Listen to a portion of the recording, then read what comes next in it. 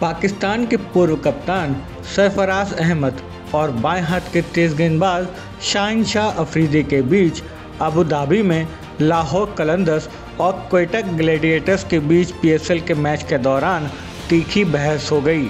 लाहौर के कप्तान शोहेल अख्तर और सीनियर बल्लेबाज मोहम्मद हाफिज के साथ अंपायरों को उन्हें अलग करना पड़ा। ये घटना कोयटा की पारी के 19 ओवर की है। जब सरफराज के हेलमेट पर अफरीदी का एक बाउंसर लगा, जिसे अंपायर ने नो बॉल करार दिया। यहाँ गेंद हेलमेट से टकराकर थर्डमैन पर गई और सरफराज ने रन ले लिया। दूसरे छोर पर पहुँचने के बाद उन्होंने अफरीदी से कुछ कहा। अफरीदी को उनकी बात नागवार गुजरी और वो अपने रनअप से आक्रामक अंदाज में उनकी तरफ़ बढ़े। तनाव बढ़ता देख अंपायर को दखल देना पड़ा। हफीज़ और अख्तर भी दौड़कर उनके पास गए।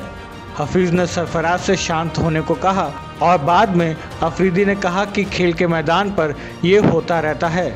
इस घटना से सोशल मीडिया पर बहस छिड़ गई है। कुछ ने अफरीदी के आक्रामक रवैये और सीनियर खिलाड़ी के प्रति बर्ताव की आलोचना की है तो कुछ ने उसे सही ठहराया है। इस मैच में ग्लेडिएटर्स ने लाहौर को 18 रनों से शिकस्त दी।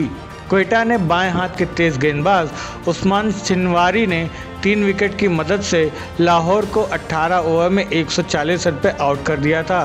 इससे पहले कोयटा के लिए सलामी बल्लेबाज जैक ने सर्वाधिक 48 और कप्तान सरफराज अहमद ने नाबाद चौंतीस रन बनाए। कोयटा ने पहले बल्लेबाजी करते हुए पाँच विकेट पर एक सौ अट्ठावन रन जोड़े थे।